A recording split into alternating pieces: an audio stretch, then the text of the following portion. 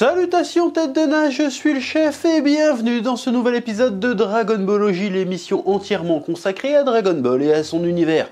Aujourd'hui, on poursuit notre rétrospective des films OAV et TV spécial de Dragon Ball Z avec un TV spécial assez particulier. Je parle bien sûr de Bardock le père de Sangoku. Un OAV, un TV spécial plutôt, méga culte de chez culte. Mais ils sont pas censés tous être cultes, les OAV TV spécial DBZ Si, mais celui-là, il est culte plus plus Dragon Ball Z, une ultime bataille en solitaire, le père du guerrier Z Sangoku qui défia Freezer, de son titre original que je ne vous ferai pas l'affront de lire en japonais. Bon allez si. Doragon Boruzeto, Tata Itorino Saishu, Keisen, Furiza no Idonda Zeto Senshi Son Goku no Shishi. Voilà. D'ailleurs, ce film est connu sous bien des titres. hein. Il y a Dragon Ball Z Badak, Badak contre Freezer. Il y a Dragon Ball Z, le père de Sangoku. Et Dragon Ball Z, le père de Son Goku. La différence est subtile. Il s'agit du tout premier film estampillé Dragon Ball Z, qui, contrairement à la plupart des films, s'inscrit totalement dans la continuité de la série. Il a d'ailleurs pour lui la particularité d'avoir directement inspiré le manga. En effet, Toriyama a tellement kiffé l'idée du personnage de Bardock qu'il décidera de l'intégrer brièvement dans son manga dans une case lors de l'arc Namek. Ah du coup c'est canon? Euh, en fait, c'est un peu plus compliqué que ça, mais viens, on aborde le sujet au fur et à mesure de la rétrospective. Euh, comme ça, c'est pas trop confus. Hein, ça sera plus digeste. Le personnage a été créé par le scénariste Takao Koyama et par le kara designer de légende Katsuyoshi Nakatsuru. D'ailleurs à la base, il devait ressembler à ça, mais Toriyama a voulu qu'il ressemble plus à Goku, ce qui a donné le design qu'on connaît aujourd'hui, sans parler de Jaco et du film DBS Broly. D'ailleurs, ce film est sorti en 1990, soit pile poil mon année de naissance. Coïncidence? Bah ouais. Bref, let's go pour le visionnage. Eh oui. Le film commence sur la planète Vegeta, on entend les pleurs d'un enfant qui n'est autre que Kakaroto, qui chiale tout seul au milieu d'une couveuse, et apparemment il vient de naître. Et elle est où la daronne? Eh bien, elle n'est pas du tout évoquée de tout le film. D'ailleurs, à l'époque, quand on était gamin, en tout cas de ma génération, on était tous persuadés que la mère de Goku, en réalité, c'était elle, la pote de Bardock, qui s'appelle Celipa. Mais en fait, non. Celipa, elle. Elle est nulle à chier celle-là. Mais comme vous le savez, Akira Toriyama finira par aborder le sujet de la mère de Goku en créant le personnage de Jiné qui apparaîtra pour la première fois dans le chapitre Dragon Ball Minus, hein, le chapitre bonus de euh, Jaco the Galactic Patrolman ou Jaco le patrouilleur galactique, histoire qui sera repris dans le film DBS Broly. Bref, nous voici à présent sur la planète Kanasa, une planète peuplée par des espèces d'hommes poissons moches qui sont en train de se faire exterminer salement par des Ozaru. Ça explose des immeubles, ça crache des lasers, ça écrase des gens, bref, du bon taf de Saiyan quoi. N'empêche, ils foutent quand même un sacré bordel, hein. Quand tu penses qu'après c'est pour la revendre, euh, ils pourraient faire ça un peu plus propre. D'ailleurs, je me demande bien comment ça se passe la revente. Faites gaffe le cadavre. hein. Bon, on est bien là, une belle planète avec de beaux volumes. Il y a deux soleils, ce qui est pratique niveau ensoleillement l'été, euh, ça vaut franchement le coup. Bon, je vous avoue, c'est un peu dans son jus, mais un petit coup de peinture, on verra plus rien. On peut faire un joli petit nid douillet là. Là par exemple, là- là-bas là. Là, il y a un cratère, c'est leur capitale au mec. Bon, bah vous faites une piscine. Vous aimez les piscines? Bah, vous, vous- allez pouvoir faire plein de piscines ici. C'est ça qui est pratique. Et intéressé ou pas? Ouais Bon, bah, il faut vos derniers euh, 12 mois de salaire. Et puis, euh, voilà. Le soleil se lève sur une planète désolée, où tous les habitants et toute trace de civilisation semblent avoir été anéantis. Là, au milieu d'un cratère, Bardock et sa bande sont en train de chiller. Thomas dit à Bardock On n'y est pas là un peu fort pour fêter la naissance de ton fils Eh ben, chez les Saiyans, on peut dire que ça déconne zéro avec les baby showers. Ouais. Bardock répond qu'il sent pas les steaks de son gamin, c'est juste un guerrier de basse classe sans avenir. Mais Bardock, c'est pas aussi un guerrier basse classe? Si, c'est ce qu'on appelle un contre son camp. Bardock se demande pourquoi Frieza s'intéresse à cette planète, et Thomas lui répond qu'il a entendu dire que les habitants de Kanasa possédaient des facultés psychiques intéressantes. Quoi? Ouais, pour le coup, je piche pas non plus. A priori, les mecs sont pas une menace. Ils ont des pouvoirs intéressants qui pourraient aider Frieza euh, à réaliser euh, ses projets. Euh, mais non, vas-y, viens, on leur génocide leur race. C'est pas très logique. Soudain, un rescapé sort des décombres et lance une attaque chelou à Bardock. Il se prend une attaque de Thomas et alors qu'il agonise en flammes, il dit ceci à Bardock. Je viens d'utiliser une technique qui te confère le pouvoir de voir l'avenir. Tu verras le sort de ton propre peuple. Tu verras que comme le mien, il est condamné à l'extinction. Je te condamne à voir ce futur qui te fera souffrir à l'agonie. Waouh, comment il a niqué l'ambiance, le gars Les mecs, ils sont là en train de chiller tranquille entre couilles, euh, après un petit génocide, peinard, la routine, comme ça, ils prennent du bon temps. L'autre, il débarque, il met une sale ambiance, aucun savoir-vivre. Il balance des malédictions comme ça, non, il se prend pour qui, lui? Non mais plus sérieusement, j'aime beaucoup cette ambiance sombre, sérieuse, violente, un petit peu euh, euh, désabusée, euh, tragique. Je trouve que ça va étonnamment vachement bien à l'univers de Dragon Ball, qui est habituellement plutôt joyeux et fun. Au-delà de tous les moments où il l'est pas. Oui. Ensuite, Bardock explose l'homme poisson puis tombe dans les pommes. Là, on voit Vegeta gamin s'entraîner en explosant des sabbats Imen. On voit même Nappa avant la calvitie. Puis on découvre Frieza, qui discute avec Dodoria et Zabon. Dodoria remarque que les Saiyans sont très efficaces et travailleurs pour leur amener des planètes. Zabon dit qu'il faut mieux s'en méfier parce qu'ils sont nombreux et que si jamais ils se rebellaient contre Frieza, ils pourraient devenir une vraie menace. Mais pourquoi c'est pas canon? Dans le film, c'est Zabon qui suggère à Frieza de se débarrasser des Saiyans, alors que dans le manga, on sait que Frieza a détruit la planète Vegeta avant tout par peur du Super Saiyan. C'est une différence majeure qui peut pourtant s'expliquer simplement. Au moment où le film a été écrit ou même où il est sorti, eh ben le, le- le Super Saiyan n'avait pas encore été évoqué dans le manga. Cette scène avec Zabon et Dodoria est très probablement inspirée de la scène du manga où Dodoria, qui est un peu aux abois face à Vegeta, décide de lui avouer les véritables raisons derrière la disparition de la planète Vegeta et il lui dit à peu près ceci. Maître Freezer avait dit que la planète des Saiyans avait été anéantie suite à la collision avec une météorite. Mais c'est faux. Maître Freezer n'avait pas peur des Saiyans individuellement, mais si plusieurs d'entre eux avaient décidé de s'unir pour se rebeller, ils auraient posé problème. En plus, parmi les Saiyans, des guerriers surpuissants comme toi commençaient à apparaître et se multiplier. Et comme vous n'étiez pas le genre de peuple à continuer à obéir aux ordres, si vous étiez devenu plus fort, Maître Freezer a dû prendre des mesures contre vous. Alors il a détruit la planète Vegeta et tous les Saiyans lui-même. Soit lui reconnaissant Vegeta, il a attendu que tu ne sois pas sur la planète pour la faire exploser. Il savait que toi, le prince des Saiyans, tu étais un génie du combat et que tes capacités hors du commun lui seraient utiles. Donc, au moment où cette scène du film a été écrite, elle a été écrite pour être raccord avec ce qu'on savait dans le manga, ce qui témoigne d'une bonne volonté. Voilà, donc pour une fois, il y a une incohérence, mais tu sens que c'est pas parce qu'ils s'en battent les couilles, c'est parce que justement, ils voulaient bien faire. Bref, là, le petit Vegeta débarque pour présenter ses hommages à Frieza et on sent bien que Vegeta veut défier Frieza. Et là,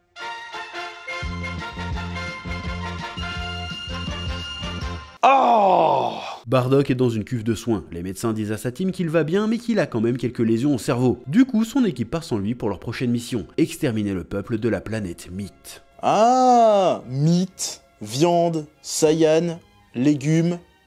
Ah, c'est marrant. En vrai, non, hein Là, on voit bébé Goku qui se réveille et pleure. Et en parallèle, on voit Bardock qui commence à avoir des visions du futur. On voit la planète Vegeta exploser et des moments de la vie future de Goku. On constate un effort de mise en scène entre le père et le fils plutôt bien vu. Bardock se réveille, persuadé d'avoir juste fait un rêve chelou, et décide de partir direct rejoindre son équipe sur la planète Mythe. Sur le chemin, il passe devant la couveuse qui contient Goku, son fils, et on assiste à un moment de tendresse entre un père et son fils. Non, en vrai, il a encore un flash, et part dégoûté lorsqu'il voit que son fils a une force de seulement Non mais tu te rends compte?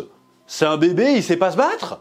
En plus, euh, il a pas de dents, il se chie dessus en plus? Non mais la honte Pendant ce temps, l'équipe de Bardock est en train de se faire défoncer par des hommes de Frieza menés par Dodoria. Thomas essaye de comprendre pourquoi ils font ça et Dodoria lui dit que l'ordre a été donné d'éliminer les Saiyans. Bardock arrive trop tard et trouve son équipe décimée. Thomas, dans son dernier souffle, lui dit qu'il faut que les Saiyans s'unissent pour combattre Frieza. Bardock essuie le sang du visage de son ami avec un tissu blanc qui s'imprègne de rouge. Je trouve cette scène très réussie. Elle est intéressante parce qu'elle parvient à nous rendre empathiques au sort d'être objectivement malfaisants. Il y a 10 minutes de ça, les gars ont génocidé une planète entière, probablement en se marrant d'ailleurs. Mais on en est quand même à se dire que c'est triste et injuste ce qui leur arrive, et on a de la peine pour Bardock qui vient de perdre ses amis. Le même Bardock qui délaisse totalement son gosse parce qu'il ne serait pas assez puissant selon lui. Non, c'est fort tout ça. C'est là que les hommes de Dodoria débarquent. Bardock met le chiffon ensanglanté en bandeau sur son front, ce qui lui donne un look ultra stylé sa mère. Et là...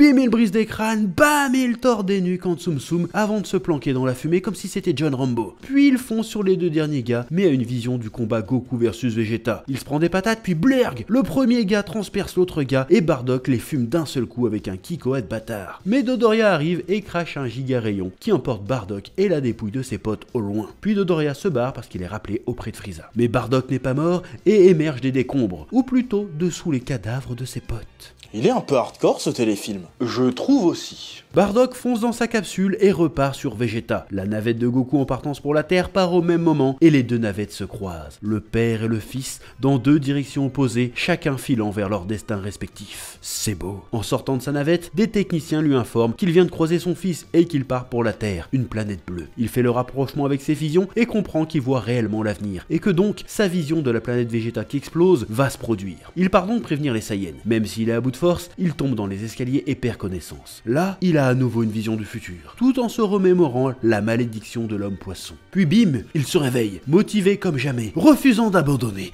et...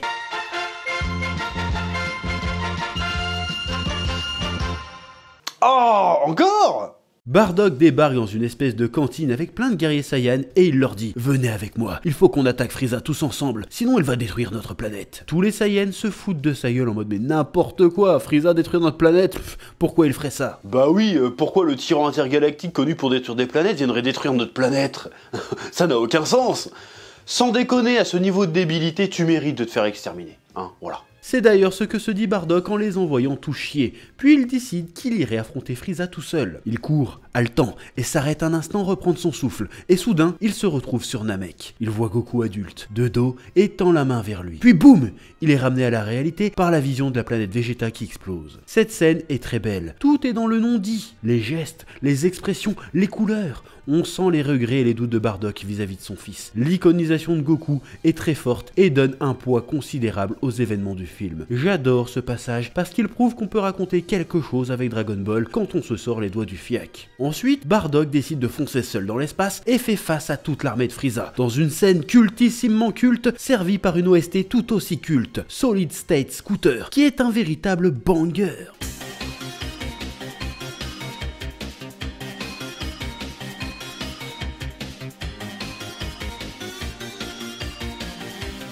Bardock est retenu par des dizaines de soldats et hurle Frieza Sors de là Puis Frieza sort. Tout le monde se chie dessus, sauf Bardock qui dit Maintenant on va régler nos comptes. Et il lance une boule d'énergie, mais bam Frieza balance sa méga boule destructrice de planète et Bardock se fait fumer. Mais au moment de rendre son dernier souffle, il a une toute dernière vision, celle de son fils, Kakaroto, sur le point d'affronter Frieza. Puis il meurt le sourire aux lèvres et la planète Vegeta explose. Ensuite, on voit Goku être recueilli par Gohan. Et là, c'est la fin. Ce téléfilm est une masterclass parmi les masterclass. Oui, je le dis, oui. Déjà parce que l'animation et la mise en scène sont vraiment très bonnes. Il y a plusieurs passages du film qui ont de vraies idées. On les a abordés dans cette vidéo. On est dans le symbolisme, dans le non-dit. Pas besoin que Bardock formule ses sentiments. On les ressent à l'image. On voit un père qui doute, qui a peur, qui se sent impuissant face à la marche des événements et qui refuse d'abandonner, de céder même s'il sait pertinemment que ça ne sert à rien, que son sort et celui de son peuple sont déjà scellés. L'histoire est vraiment très bonne et fait un vrai tour de force en nous racontant une histoire non manichéenne. Il n'y a pas de gentils et encore moins de héros dans ce téléfilm. Les Saiyans et Bardock ont mérité mille fois leur sort. Ce sont des êtres violents et cruels qui ont prospéré sur le massacre de millions de vies. Frieza intervient comme un joueur de punition divine. Bardock et sa team s'enorgueillaient de détruire des peuples. Un mec plus fort leur fait subir le même sort. C'est juste. Le drame du film, ce n'est pas l'anéantissement de la planète Vegeta. Non, le vrai drame de cette histoire, c'est que Bardock n'aura jamais le droit à la rédemption. Il aurait pu changer, il aurait pu retrouver son fils et en prendre soin, mais non, pour ses crimes, cette opportunité lui sera enlevée à jamais. Et quand il dit Kakaroto hérite de ma volonté, selon moi, il ne parle pas de vengeance, il parle de sa volonté de rédemption. Goku va venger les Saiyans, certes, mais va surtout sauver des milliards de vies et faire énormément de bien autour de lui. Et ce faisant, va en quelque sorte rattraper les péchés de son peuple et de son père. Du temps de Bardock, les Saiyans étaient synonymes de mort et de destruction. Grâce à Goku, c'est devenu synonyme d'espoir. Et ça, c'est beau.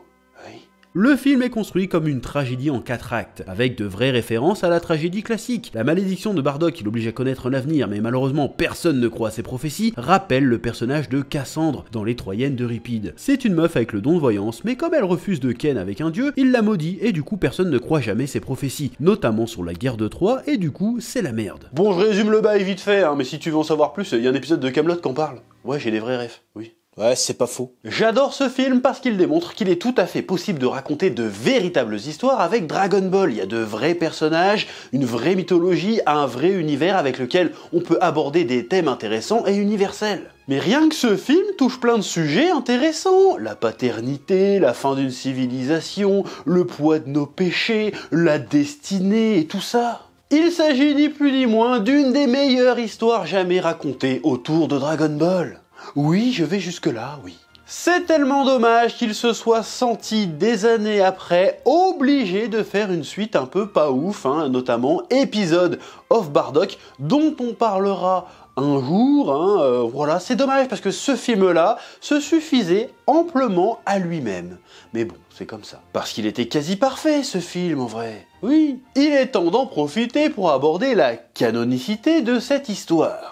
On l'a vu, il y a quelques petites incohérences, mais qui, contrairement aux autres films, ne sont pas vraiment volontaires. C'est juste qu'ils ont écrit ce film avec les infos disponibles dans le manga à l'époque. C'est même une preuve qu'ils ont voulu bien faire. Ils ont d'ailleurs tellement bien fait que Toriyama a décidé d'incorporer Bardock et son histoire dans le manga. Donc ce film était parfaitement canon au manga et à l'anime. En tout cas, c'était le cas pendant près de 20 ans, avant que Toriyama décide de retcon cette histoire dans le chapitre bonus de Jaco le patrouilleur galactique, intitulé Dragon Ball Minus, histoire qui sera repris plus tard dans les films DBS Broly. Du coup, ce n'est plus canon. Euh, fatalement, oui. Et finalement, la version DBS Broly, t'en penses quoi? C'était mieux ou c'était moins bien? Eh bien ça, on en reparlera une prochaine fois. Mais en attendant, n'oubliez pas, Dragon Ball, c'est la vie. Ouais. Eh oh, tu vas pas te barrer comme ça, hein? Tu vas laisser un pouce bleu? Un petit pouce bleu, hein? Puis tu regardes aussi les autres vidéos? Parce que voilà, tu t'abonnes Ouais 哎。